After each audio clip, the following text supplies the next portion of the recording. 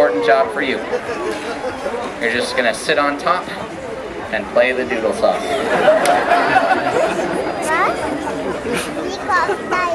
Whenever you're ready. Sugar Man.